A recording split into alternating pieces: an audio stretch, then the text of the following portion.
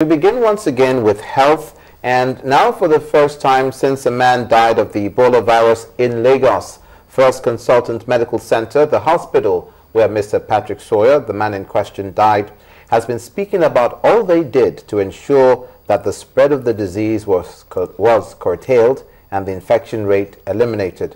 The hospital admitted Mr. Sawyer with symptoms suggesting, uh, suggestive of malaria, the symptoms were fever, headache, and extreme weakness.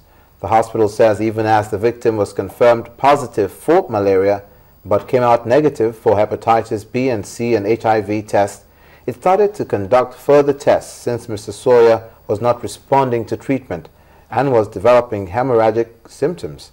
The statement adds that although Mr. Sawyer denied being in contact with any person with Ebola, it decided to test him for the virus, bearing in mind that he was coming from Liberia, where there's been an outbreak of the disease.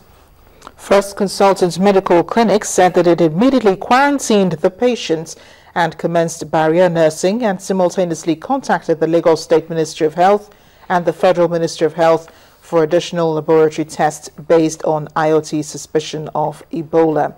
First Consultants Medical Center that it resisted immense pressure to discharge Mr. Sawyer from its hospital despite insistence that the Ebola victim had an important role to play at the ECOWAS convention in Calabar, the Cross River State capital. According to the hospital, the initial results from LUTH Laboratory indicates a signal of possible Ebola virus but required confirmation.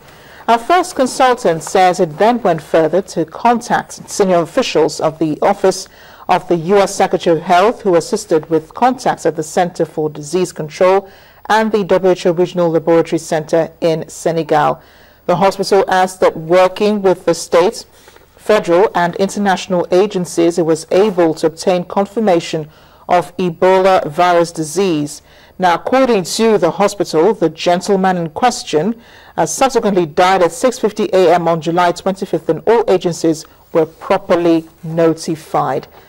That's right. We also understand the hospital was then temporarily shut down with the immediate evacuation of in-house patients uh, while it removed and incinerated Mrs. Sawyer's body under World Health Organization guidelines witnessed by all appropriate agencies.